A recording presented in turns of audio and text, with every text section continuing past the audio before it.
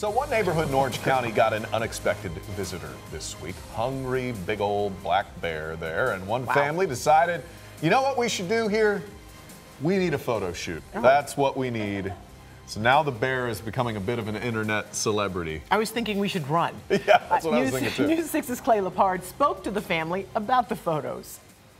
There's still plenty of debris in this part of Apopka left over from Hurricane Irma. But that's not what brought us here. Holy crap.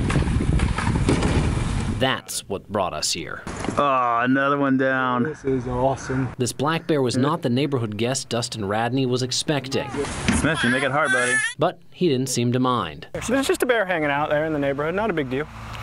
Just a 400 pound bear. And it's Radney's sense of humor that's got people talking online, whether it was commentary on the bear. This is what's wrong with the, the natures today. They, they don't eat healthy. That's why they get so fat. They're obese. Photoshopping his son onto the bear or creating a possible Christmas card with one of his neighbors. It was really entertaining. He was just chilling and, uh, and eating some trash, and then after he ate the trash, he took about an hour nap. On top of the Orange County deputies who were monitoring the bear, one of the things you couldn't see from those pictures and video was just how far away the bear was from everybody else. Something to keep in mind should you encounter one on your own. We were about 50 yards away from the bear and there were cops on either side of us while we were taking our pictures. The Florida Fish and Wildlife Conservation Commission want people to remember never approach a bear and try to secure your trash and only put it out when necessary as bears stock up on calories this time of the year right before winter.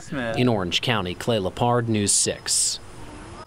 Again, don't try this no. at home. Yeah, to see more photos of the bear encounter and to learn how to keep your family safe, go to clickorlando.com. We've posted the photos and safety tips from wildlife officials.